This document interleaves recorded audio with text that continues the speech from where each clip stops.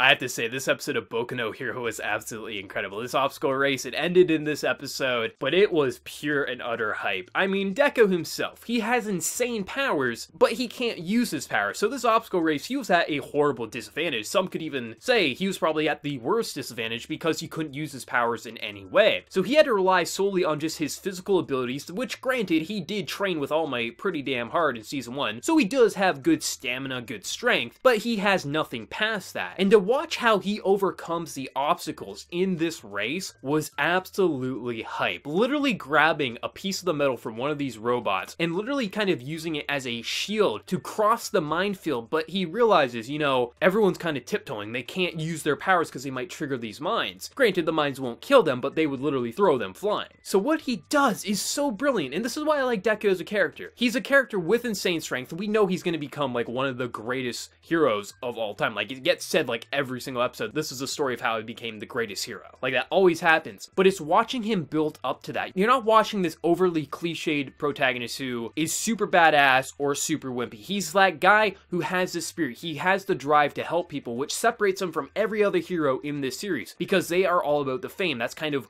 what drives these heroes is their ratings. But Deku's always been he just cares about helping people. And even All Might says this. He thought that this would be his downfall, but in fact it wasn't because we see what he's willing to do. He literally digs up all these mines, uses the metal, slams down and uses it as like a cannon to fire himself away. And just as it looks like he's probably going to be passed by the other two, he does just another grand like explosion to get into first place and literally takes first place in the obstacle race when he absolutely shouldn't have when you look at how everything started out. Just watching that, the moment when he wins, it gave me like chills. Like honestly, I was like, holy hell, I am so happy for this character. Like Deku is not my favorite character of the season. He's not even, I guess you would probably say he's probably my favorite character in this series next to All Might, but still, he's not like a character like I'm overly attached to. But I love what he does for the series. He feels like the perfect lead for this series. Like, he is overpowered if he could use his powers, but he can't yet. So I like that he has this insane strength, but he has to build up to be able to use it. But also, it's his will and his drive, and he's able to think on the fly. Like, he's claiming it was all luck that he won, but it is also due to his intelligence being able to think on the spot.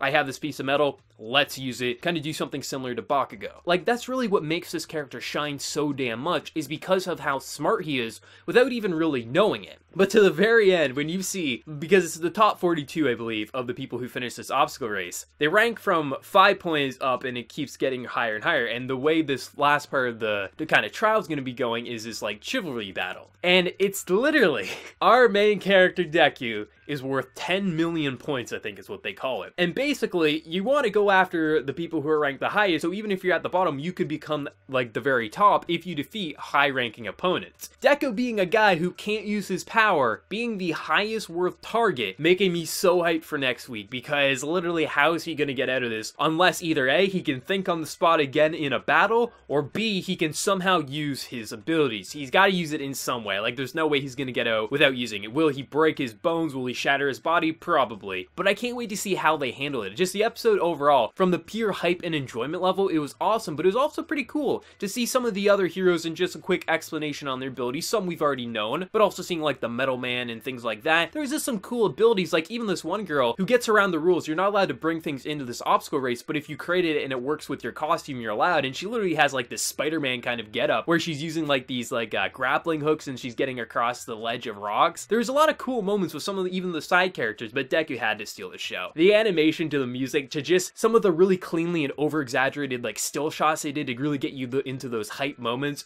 was just absolutely insane. And I need to see what happens next week. This was a great little mini arc for the obstacle race there. You know, they could have done 10 episodes of an obstacle race and they would have made it work because you have superheroes with this. But two episodes for this, honestly, it worked rather well. I thought it was very well paced. It made you hype. It made you feel some emotions. And I can't wait to see what they do next week. But let me know your thoughts down in the comment section below. For manga readers, how did you enjoy seeing this animated compared to when you read it in the manga? And for anime originals, how hyped did you feel when you saw Deku win first place? Because honestly, despite him being the main character, I wasn't expecting him to get first place because he is so underpowered and just kind of out of his league in this race. So let me know your thoughts down in the comment section below. And before you leave, hit the like button to show your support. for you're new channel, be sure to subscribe. So until next time, everyone, please take care and have a good one.